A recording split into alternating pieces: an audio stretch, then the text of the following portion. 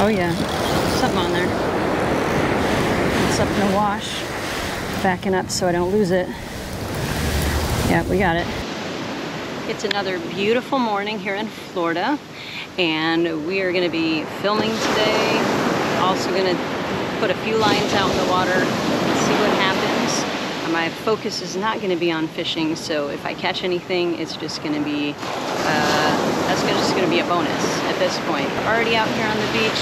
If you like my videos, go ahead and push that like, push the subscribe, hit the notification bell so that you get a notification every time I put a video out, every time I go live and I really appreciate it. It helps me out a ton. I've got something on my line over here. So I was trying to give this line a break to not be getting hit so bad. I'm trying to get a better angle here with the camera, but we're getting hit over here. So I want to show you in action how to be casting, how to reel in this fish. All right, so this line has been getting hit for a little bit here. I'm gonna pull this out, I'm gonna pull it back. Not dropping the line. I've got to adjust the, uh, the tension on the rod.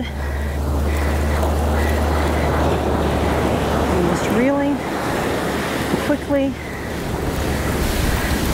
Actually skating on the top of the water. I don't know if you can see that. Whatever kind of fish it is.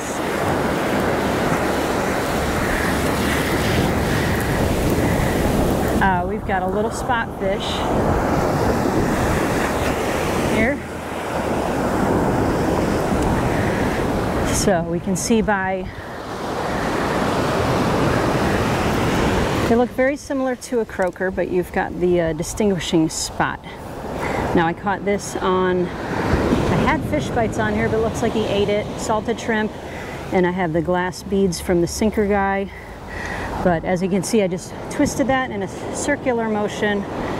Beautiful little spot fish here. We're gonna throw him back and we're gonna get the line back out in the water. So earlier I was talking about casting and my microphone wasn't set up correctly. I realized that after the fact that I was able to give you a little bit of a picture of what it looks like to properly reel in the fish. So we're gonna talk about casting next as I have re-rigged, I'm going to re-rig this rod and then I'm going to talk you through how I cast it out. You can see me here when I'm casting. This is what we're going to do. The first thing you do is to check that your line is parallel to the rod.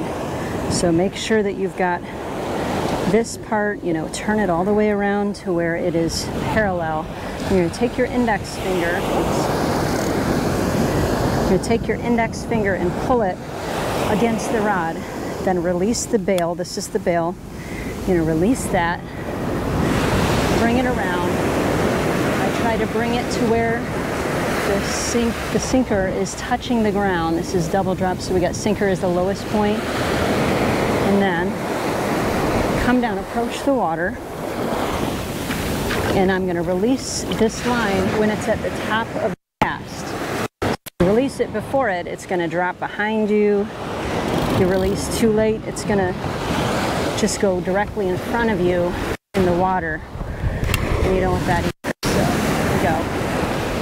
So I'm going to flip it up. I'm going to be pushing with, with this hand. I'm going to be pulling down with this hand.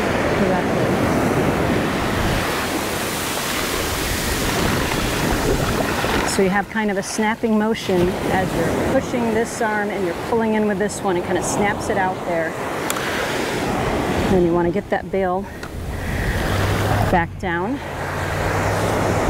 And then I like to reel it in to where there's tension on the line. You want a little bit of tension, not to where it's dragging it back in. And then you want to make sure that this drag is released enough to where if a big fish gets on there, it's going to be able to pull that drag of it. So, and I like to have it to where it's also parallel here so it, it just, it lays better as it's out there.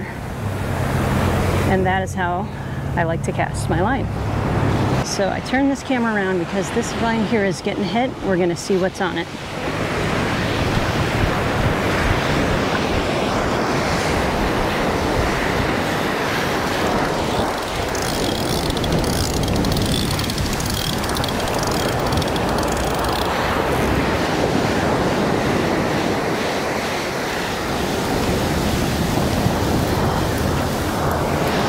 Looks like there might be something on here. It's kind of cutting in. Let's see what it is. Oh yeah, something on there.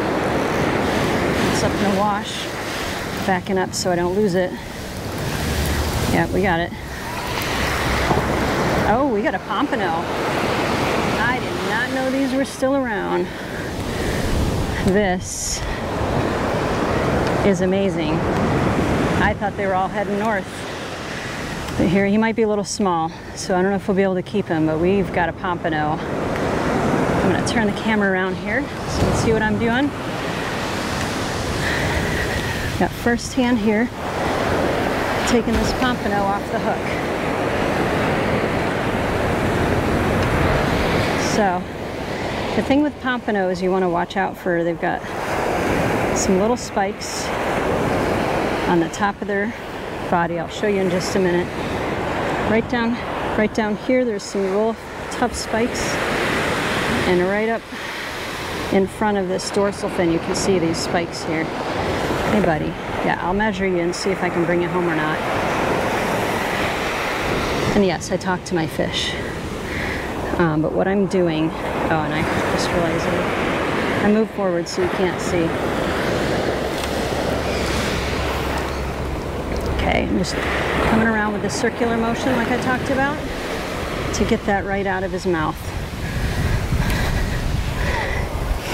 Beautiful little pompano. We're gonna measure him. I've got a measuring right on my cart. But, whoop, beautiful fish. And he does not like being out of the water. So we measure him, see if we are allowed to keep him. I don't think so. He is, so this fish is about 10 and a half inches to the fork. They've got to be 11 inches to the fork to keep them. For safety's sake, I keep them when they're about 11 and a half because when they, I'm gonna get this guy in the water, but when they, uh, when they cool down and they freeze, on the ice, then they will shrink a little bit. We're gonna get this guy back in the water. Turn around so you can see me do this. Oh, this made my day. He was almost a keeper. I'll wait till this wave passes, and we're not gonna just throw him out there because he's been out of the water a little bit. Wait. Oh, big wave coming in. We're gonna just release him.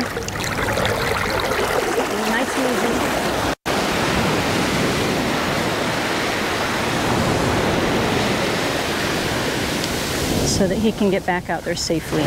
Well, I had such a blast fishing that day. Even though I was just filming and I wasn't really focused on catching fish, I got a surprise with that pompano. It was a nice surprise to be able to catch that fish. Anytime we catch a pompano in Florida, we're happy. So I hope you enjoyed it. And if you did, push that like, push that subscribe, make sure you share it with your friends. And until next time, we'll see you, Fishin' Girl. God bless.